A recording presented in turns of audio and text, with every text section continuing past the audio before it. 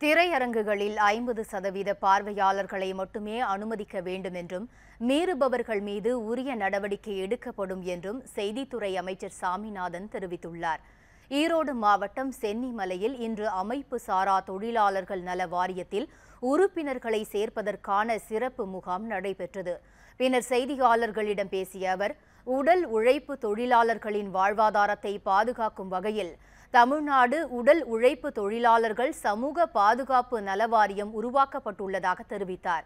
சென்னிமலை அருகே கொடுமணல் கிராமத்தில் நடைபெற்று வந்த அகழாய்வு பணிகள் தொன்னூறு சதவீதம் நிறைவு பெற்றுள்ளதாகவும் துறை சார்ந்த அமைச்சரான தங்கம் தென்னரசு இதுகுறித்து பல்வேறு திட்டங்களை அறிவிக்க வாய்ப்பு உள்ளதாகவும் தெரிவித்தார். கொரோனா தொற்று பரவல் அதிகரித்து வருவதால் திரையரங்குகளில் ஐம்பது சதவீத பார்வையாளர்களை மட்டுமே அனுமதிக்க வேண்டும் என்றும் அவர் தெரிவித்தார். சினிமா திய திரையரங்குகள் எல்லாம் ஐம்பது சதவீதம் பய பயனாளிகள் தான் அறிவிக்க அங்கே அனுமதிக்கப்பட வேண்டும். பொதுமக்கள் அனுமதிக்கப்பட வேண்டும் என்று இருக்கிறது. அதில் விதி மீறுபவர்கள் மீது உரிய நடவடிக்கை சட்டப்படி எடுக்கப்படும்.